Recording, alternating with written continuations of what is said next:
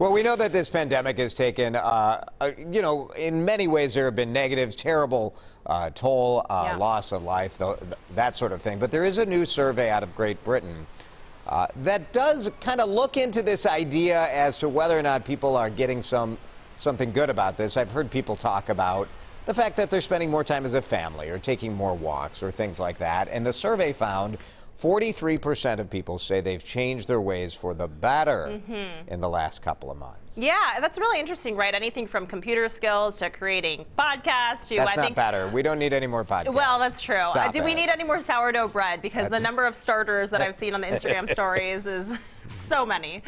Yeah. Um, so 25 new ways. Uh, 25% of people say that they found new ways to relax. Uh, a, a quarter, the same number, said that their spending habits have improved. Um, All right. So do you do you buy it? Do you have you Yeah. have you guys found this at all? Have you found any improvements here, Riley? I I think financially, yes. I mean, I have saved money for sure. I mean, you know, from not going out uh, randomly to say restaurants, for example. I know we're trying to help the re- local restaurants, but I'm saying going out to eat, Sure. uh, say every weekend or multiple nights a week. Um, also, you know, things uh, just around around the house. I'm like, okay, do I really need this? That sort of thing. So I definitely saved on on that one. That's one thing. But I do agree that with family time, um, you know, that has has been significantly something that I have uh, like just I've been very blessed with. Uh, you know, typically I'm off by 10 anyway, or, you know, 10, 15, 11 o'clock, depending on, on the day, say, okay.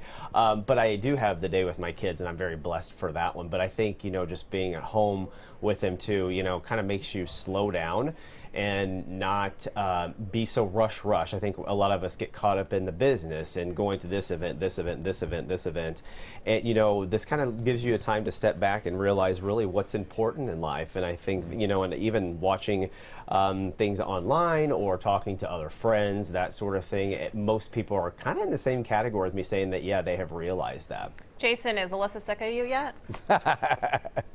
Uh, you know, our routine actually isn't all that different, right? Yeah. Because my wife work, always has worked from home. Yeah.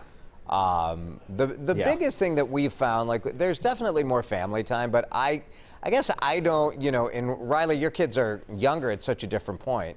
To me, like, I would not prefer uh, the family to benefit with more time together at the cost of like all of my kids' activities and all of their friendships and all of those things have kind of gone away where they're stuck in the house. And so I guess it's a trade off that, uh, yes, there are some positives, but I don't feel like it's a good deal. It's not a good trade off, you know? Right. I mean, I see your point to that Yeah. exactly. But you know, they're with- older, For it's my different, kids, you know, yeah. I, I'm. I don't like.